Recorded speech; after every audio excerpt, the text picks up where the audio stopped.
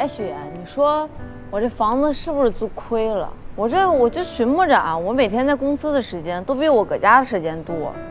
那你就把房退了住公司呗。嗯，我看行。